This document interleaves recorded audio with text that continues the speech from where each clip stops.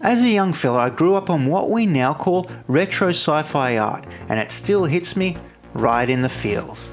Here's a prompt that captures the essence of that retro sci-fi look. It goes poster illustration, film poster, movie poster, 1960s poster, space art, sci-fi poster, space pictures in the style of depictions of urban life, science fiction lands, Trompe-l'oeil illusionistic detail, Kushan Empire, impressive panoramas, distinctive noses. There are many facets to this prompt, but some can be grouped together. The first four parts of this prompt are going to tell the AI to use poster aesthetics.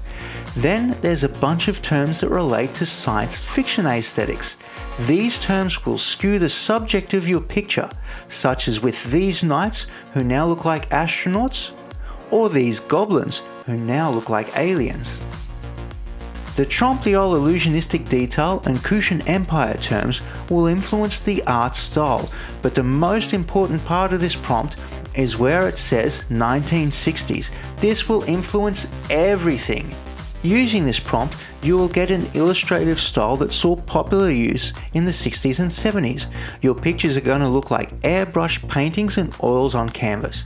They'll have a limited color palette offset by brilliant reds, such as with these robots or these backdrops. People in your pictures are going to look like they're retro pulp pinup models. And robots are going to be stylistic while necromancers are gonna look like suave madmen. Now what makes these pics look like they were made by a person as opposed to AI largely lies in the fact that this style was popular well before computers became mainstream, so the style itself comes from a very analog era. The grey blue silver here is iconic and the shadows in these pics often drop straight into what looks like heavy use of black ink, making the style high contrast. In some pics, you'll see brush strokes like here. And airbrush-like gradients often colour skies, such as in these pics. This retro sci-fi art style prompt works great when you want to tug on the old nostalgia strings, making things look operatic and it's great at making things look epic in scale too.